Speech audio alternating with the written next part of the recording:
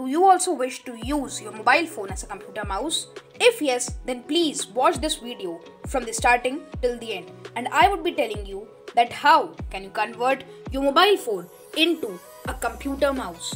So, your first step will be to download the remote mouse app from Play Store. After downloading, open the app and wait as soon as it opens. You would be getting an interface like this. Keep on swiping and then let me show you my computer screen. You are seeing my computer screen and I have searched remote mouse desktop app. You have to search it on your browser and then click on the first link.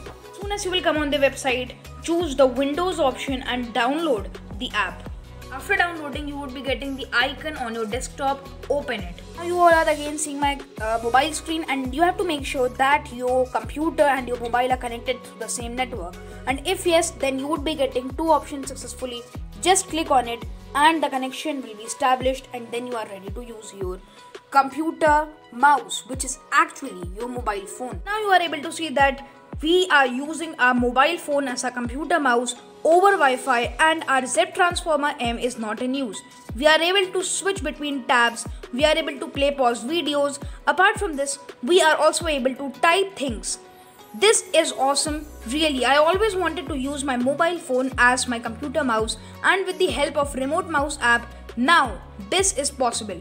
Really, you can also try this if you want a temporary solution or if you like a touchpad experience then you can surely use this technique.